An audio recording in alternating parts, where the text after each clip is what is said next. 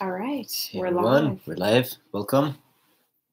Welcome to the last kind of episode of the week. Of the week. Friday's the last day. We'll be back on Monday. Tune in every day, 9 Central Standard Time. Like and subscribe. As always, we've got a lot of new subscribers, which is awesome. so if you Appreciate want it, more of this content, you want more religion, art, and technology, make sure to like and subscribe. All right, so what are we going to talk about today? We are talking about censorship. Well, I thought we were going to talk about Donna Haraway and the Cyborg Manifesto. Oh, are we? We can talk about censorship too. She talks about that. I prefer Donna. Okay, let's do Donna because I'm going to do Donna Haraway, a cyborg mon- manifesto. Sounds good. All right, so a cyborg manifesto, what is it? It's an essay that Donna Haraway writes in 1985. So, how many years ago was that? that That was 36 years ago. 36 years ago. Um, so quite a long time ago. So why is it important? So it was written 36 years ago. Well, Donna Haraway is kind of like Carl Sagan. So if you guys, I know a lot of you guys are really into Carl Sagan, like me, and uh, trust me, we're gonna have a bunch of stuff about Carl Sagan. I grew up watching him since I was a little girl, and he inspired me to study what I study today. But another person to kind of expose yourself to, if you're interested in Carl Sagan, is Donna Haraway. Uh, so why is Donna Haraway like Carl Sagan? She had a very similar emphasis to Carl Sagan. So her emphasis was on how machines, specifically computers, were going to change humans. We're going to change human civilization and humanity in general. So that was her focus because she knew early on, this way back in 1985. This is uh, so the internet was obviously created in 1969, but it doesn't really get big till later in the 90s um, infamously in 1991, they go to donate some of the early equipment for the internet to the Smithsonian and they get turned down because the Smithsonian calls the internet a fad in 1991. so this is 1985. So it's all of this is very new. The digital age is really hasn't yet begun. Uh, so, but she really prophesizes everything that's going to happen. So, what does she prophesize that is so important?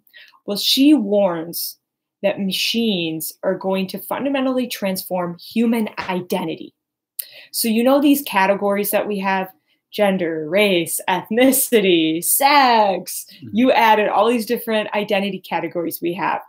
Donna Haraway warns that they're going in the past. They're Mm. going to be no longer with us. Why is that?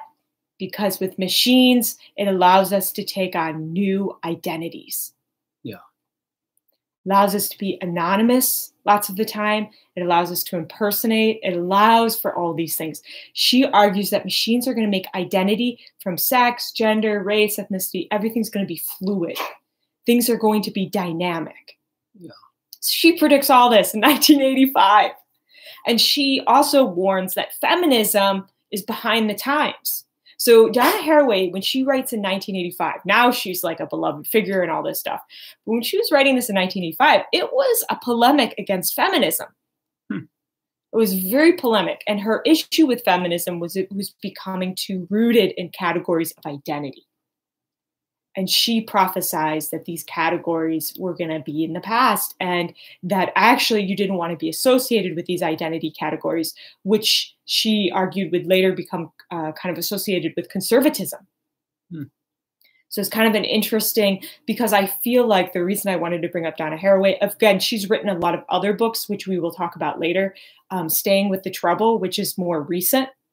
Um, but this one is really what kind of gives way to everything.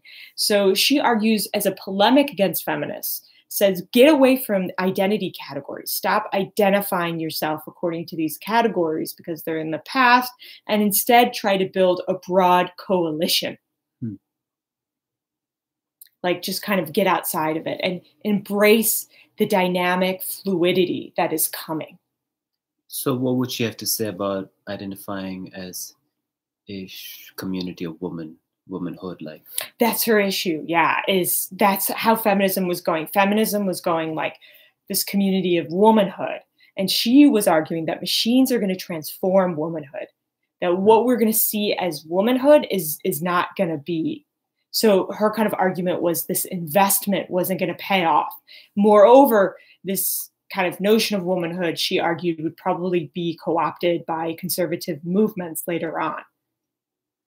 So to be part of this, well, I'm part of this identity group and this, this, this, and this, she argued was actually a politically conservative bent.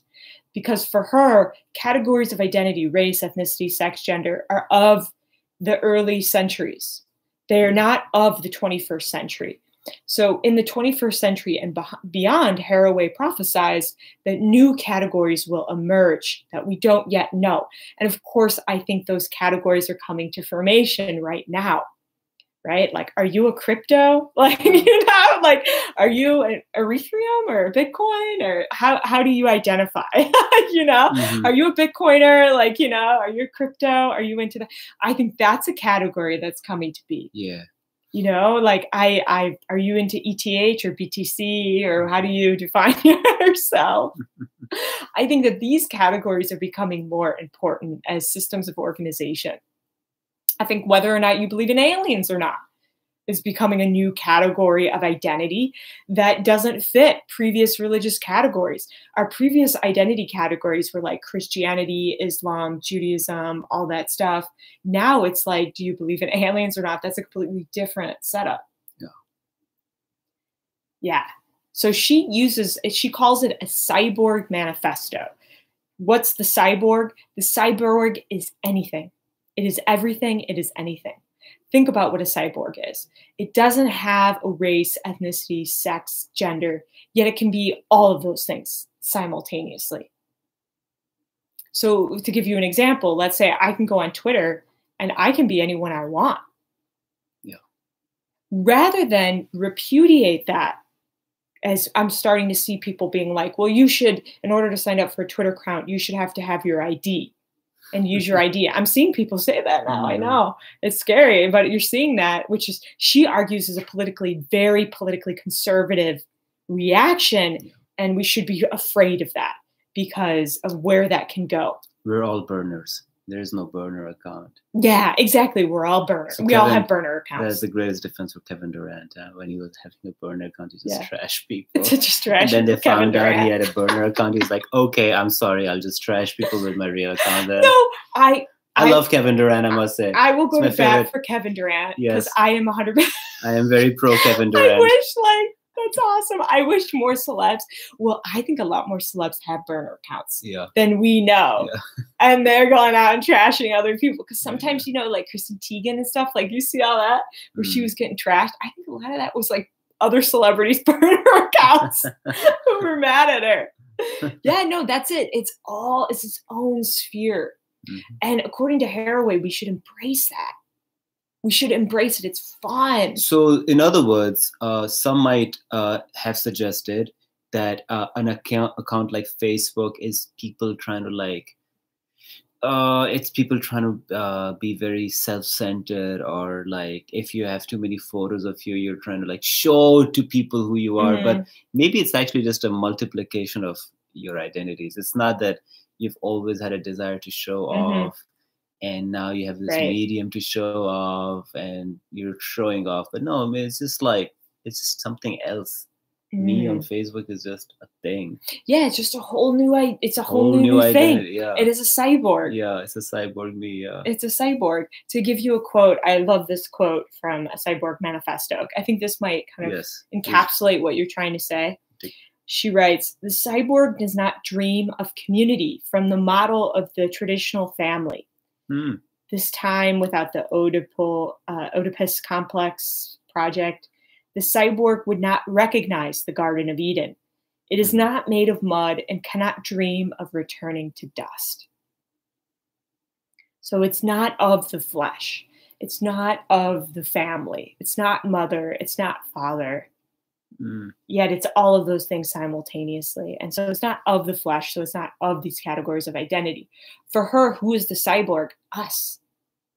It's interesting. The moment my dad passed away, my brother's desire was to just collect all his Facebook statuses and photos. There was mm-hmm. not so much necessarily any attempt to go back home and visit his grave. It was mm-hmm. mostly to collect that cyborg on Facebook. Mm-hmm. Yeah. Oh, to go back on Facebook and do yeah. Yeah. When he passed away, it was all about his Facebook was how you interacted with Yeah. him beyond the grave. Yeah. Oh, Or, yeah. or not just beyond the grave, apart from the grave. yeah.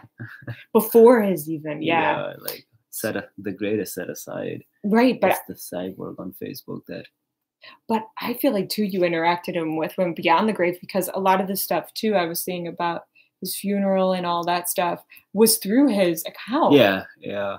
You know, like Facebook, yeah. mhm, Oh yeah, yeah. Pictures of him has passed away. mhm, going through yeah. pictures of him Yeah, and stuff like yeah. that. I thought that was very interesting too because the cyborg doesn't know time. So the the cyborg's not doesn't dream of going back to dust. It didn't it's not of the mud. It's Yeah. not of the substance. So Your it Facebook goes will on. not go with you to your grave. No, it will it will persist beyond you. Mm. This is what I said is like the most famous person alive today is a nobody. So the oh, well, one thing, the most famous person alive today in the future from this moment is likely right now a nobody. Yeah. So what's going to happen 100, 200 years from now? This person will arise and become kind of a monolith, become this hugely important figure just from their social media, hmm just from their digital accounts, their digital media. That's it. And that's how it will happen.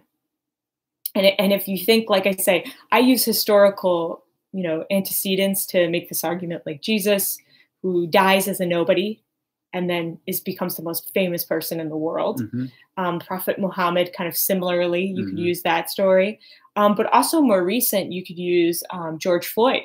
Sure, yeah. Nobody knew who he was when he passed, you a know, great point, yeah. but it was only after death that he became. There's something about that, that, you know, that you become more powerful Well, after death. He was cyborg. He was 10 seconds or seven minutes of video, whatever long Yeah, the video was. That's, that's who he saying. was, yeah. That's who he was. That's who, exactly. Not whatever was after or before. before. That's exactly. Nobody cared about his funeral. Exactly. no well, coverage. well no one cared about like previous life Yeah, you know or or anything like life, that or yeah, who he was before it was what he was on digital media in those seconds in those minutes Yep, and that was what encapsulated Yep. yeah you're absolutely right that's a cyborg yep. so he became a cyborg in that way mhm. and then it was after his death that he was able to propagate across the globe. Yeah. Really, I mean, BLM went across the globe and all that stuff. Yeah.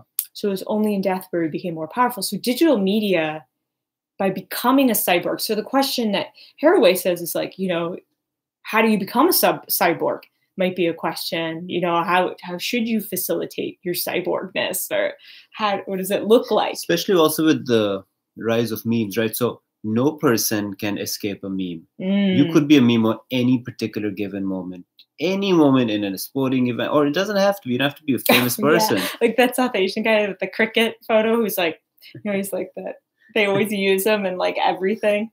I forget which one. Where he's making that face like, Oh, the Pakistani Yeah. spectator. yeah, yeah, The- yeah, the guy was yeah, like- yeah, yeah, yeah, yeah, yeah, yeah. You know, my- so you know the friends we met in Boston yeah. who uh, gave you a little cold shoulder. Uh-huh. They went and met that guy no in way. England because he had become such a big name.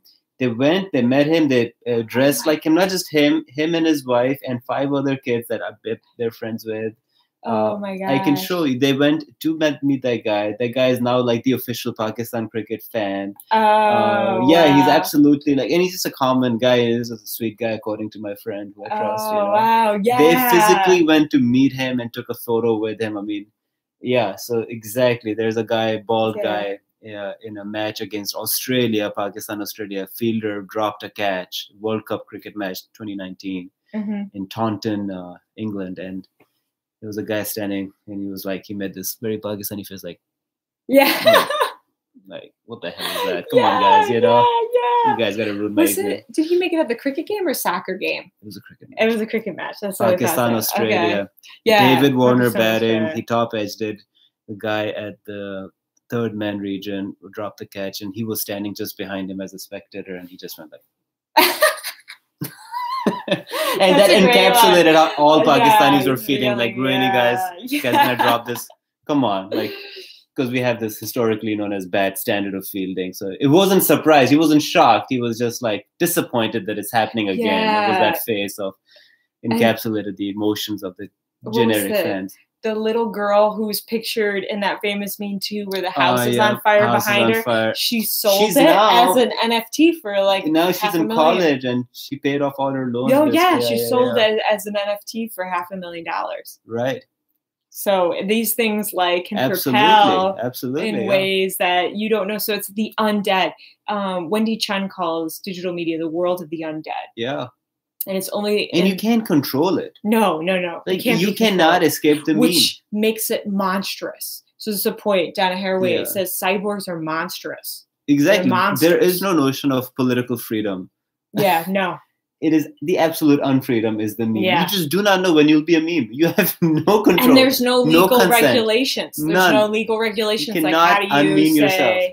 Yeah, you can't unmean it once it's out there. yeah. Um, very interestingly, there there is a court case about something that was a meme that became on CNN, and the Yeah. family's suing because the daughter's in that photo or Yeah, whatever, you know. Yeah.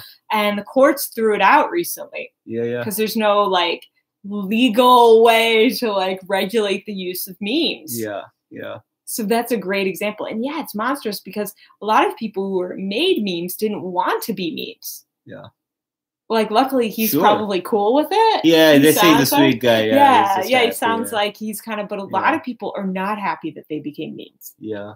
And there's there's a lot of memes that have kind of um, a nastiness to them, Sure, or you that- know what I mean. So I know it's kind of like, but that's the scary thing That's about digital. So maybe yeah. you can't really control it. Maybe you know this question of how do you become a cyborg, or how do you Mhm. maybe you can't maybe there, there's a certain level of it's outside of your control of of Yeah. what happens to you after and and that's kind of the weird thing about becoming more powerful after you die and entering the world of the undead is that there your power is wrapped up in your lack of power Yeah. I also find interesting a lot of these memes have to do with emotion. So the Jordan crying, the ball Pakistani cricket fan being Mhm. a little disappointed. Then the most recent one in the sporting world is uh, um, Steve Nash, the coach of uh, New Jersey Nets, New York Mhm. Brooklyn Nets, hugging Kevin Durant after Durant hit the game five game winner. He scored like 50 some points in that, fi- and he just played like the, every minute. He did not Mhm. sit on the bench at all.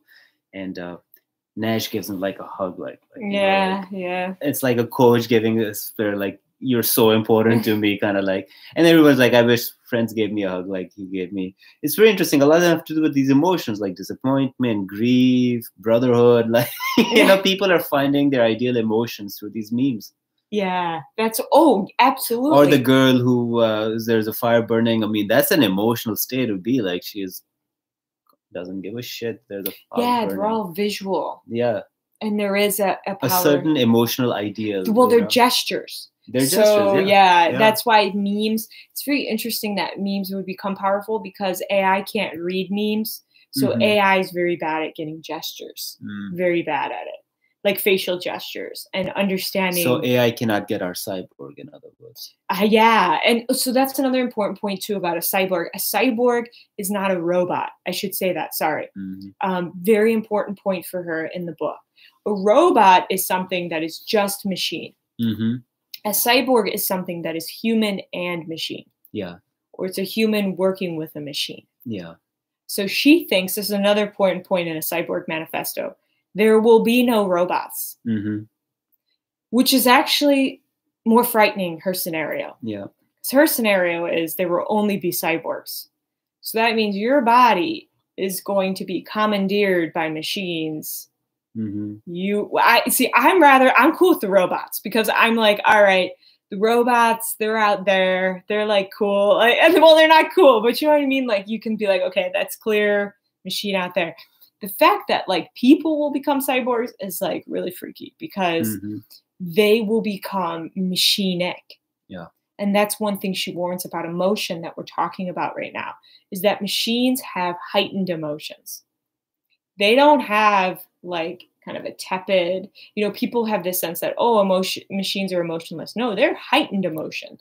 So they go from boom to boom. They go one and zero. There is no like just kind of happy medium there. They either are angry or sad. like, you know, mm-hmm. they exist in, in polars.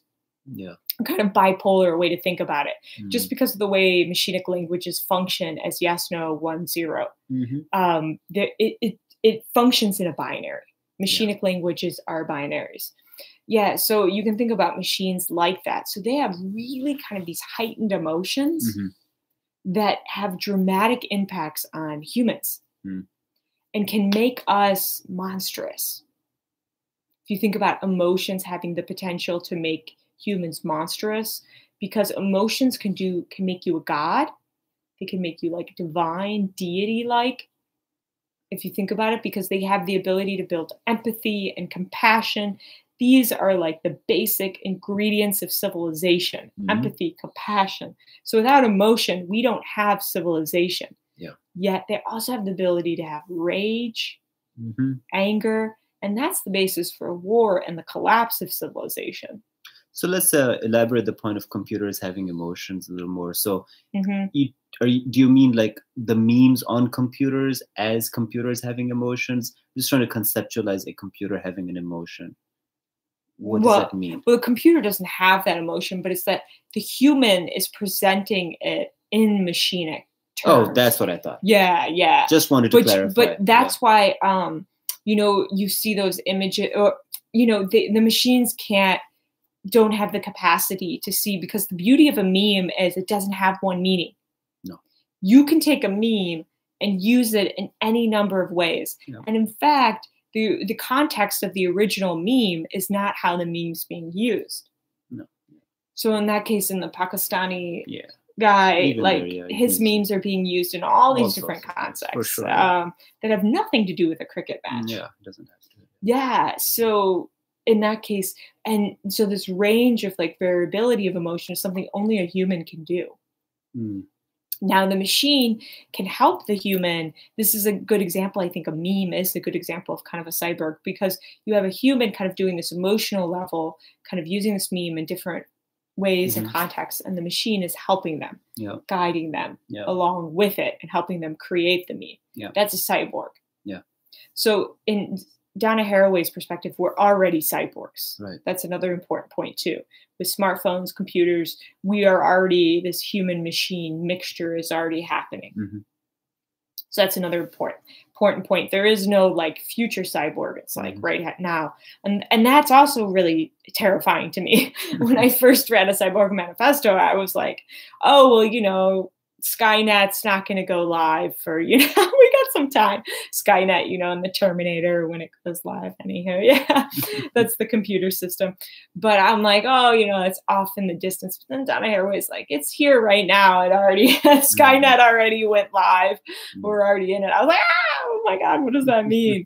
uh, so that's kind of terrifying too you know, like uh, I was reading this article. My right leg is dead. oh, okay, okay. I was reading this article recently that was like, would you know if the apocalypse happened or ha- would it already have happened? There's this great show on HBO about that. Oh, I'm forgetting the name. The leftovers, the leftovers, where like they're not sure if the apocalypse happened. There's kind of like this ambivalence, and it's like horrible. You know, they all the characters in the show don't know if the apocalypse actually happened they're pretty sure it did. That's the feeling I had reading Donna Haraway's The Cyborg Manifesto. I was like, she seems to be describing an apocalyptic event. Has it passed already? Are we already in the apocalypse? you know, mm-hmm. I had that sense in this because, yeah, we've already kind of this idea of like, well, you know, the tipping point is far out. No, we've already passed the tipping point and we're already in this new era of monsters. Mm. Chimeras, she says. Yeah we're we're in an age of monsters, mm-hmm. um, and I see that. I see that. I mean, I feel like um, we're getting a lot of good and positives with digital media, but there's also like grotesqueness and horror. Like I was recently hearing about how social media was used to round up Uyghur Muslims in China. Like, I was like, oh my God, I was reading this article and I was just like, oh my God, this is so sad and sick. And, you know, like to yeah. see digital media used for genocide, like, You know, they're they're we think of digital media as like, oh, sharing a meme, but it can also facilitate a genocide. Yeah. And those are things, and just like you said before, like you can't control it.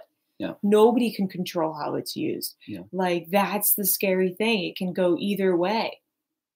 So I think in that case, that's why Donna Haraway's work is very important.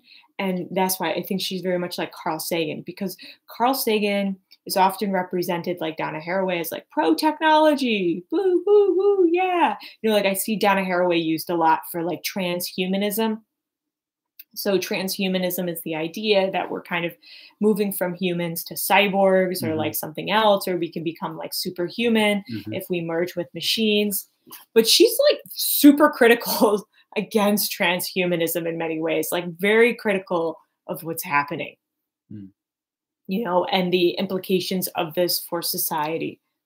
Because, I mean, her work is filled with a lot of warnings that I think, like all of her stuff that she warns about in 1985, we have like totally seen come to fruition. Like Mhm. she says, this battle over identity. Yeah. Because these frameworks of fleshly identity, of the identity of flesh, is not the identity of machine or the identity of hardware. It's it's a different categories. Or you know another another example of another identity instead of like cryptocurrencies or something like that. Um, if you're a Bitcoin proponent, another thing is if you're a Mac user. Are you a Mac user? Or you know your different smartphones? Are you Google? Do you have a Google or do you have an Apple? You know, like that. And they jokingly say Apple is like a cult or something. You know, people Mhm. sometimes say. But what they're really saying is these are important categories of identity that are now shaping society. Yeah. Sorry, that's our dog in the background.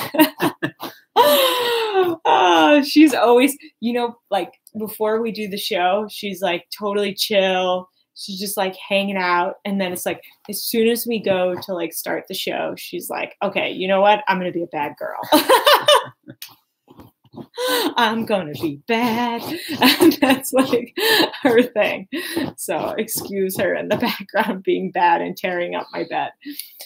Um, but yeah, so that that's what I think is really this these new categories. It's because you know I see a lot of people being like right versus left is an important category. I don't think that's an important category at all. Mhm. I think what we're seeing is the falling away of these categories. Like when I talk to people, people don't define themselves as like, I am a DNC supporter, or I'm a GOP supporter. I haven't heard anybody say that ever. Ever. Have you ever heard anybody even define themselves in those Yeah, terms no, I lately? think- I think those two categories have definitely reached there. what's that nadir or zenith what's the lowest point nadir right Or nadir is the highest point Wait, z- is zenith is highest i know that nadir will be the lowest Is that Yeah, right? I don't know. I don't know Yeah. weird words. sorry i know Yeah, yeah, yeah, definitely yeah, nobody that's cares about gop or dnc Yeah, they, they, our political categories of like Absolutely. right, left. It's all none of it works anymore. yeah Um, it's like, are you a Mac user? Are you not? Are you into? Are you a Bitcoiner? Or are you all these new categories that are emerging? I think are far more important. You know, like I and I think that our politics is still catching up. I think our politics is like a hundred years behind. Mhm. And so what we're seeing is not because I see a lot of people being like, oh, there's like there's gonna be a new like strong far right or far left or something. Okay, Zoe, that's enough. That's enough. We've had enough. Oh gosh. she can't help herself. Um, so I say um, I, I just don't think that's happening. I think there's just new categories that are coming about. Okay, there you go. Okay, finally. I swear she's like just as soon as we go to start filming, she's like, I'm gonna be bad and I'm just gonna like tear everything up. so question so we have these new categories of identity make a very persuasive argument for that yeah. what does Donna Haraway say about what did, what prescription does she have about how do we learn to live with these computers knowing they have such polar emotions so if they can create such monstrosity hmm how should we approach the cyborg Yeah. That's a great question. We should be um, dynamic. We shouldn't be obsessed with like what we're being obsessed with. yeah It, like, you know, this idea of like, I am this and I believe. so the monstrosity is actually also a reaction against the dynamism and Yes. reverting back to these. Yes, and it's a conservative. According to her, it's a politically conservative shift. hence the genocide as well. Yeah. the Uyghur genocide can only happen if you have a Uyghur identity, Yeah. which might not make much of a.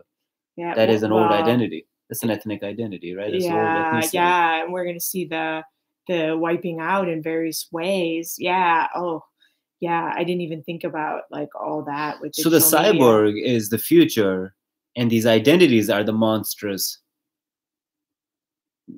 Trying to, it's It us to latching be on to the identity Yeah. can create these monstrosities. yeah, it right? can make Like- us. It can make us really good too. It doesn't have to be monstrous. Yeah, but um more like a chimera i think which is like a chimera isn't quite like a monster it can go it's kind of Mhm. like dynamic and mutates and you know chimera can be like super helpful and yeah, be beneficial and like a friend yeah.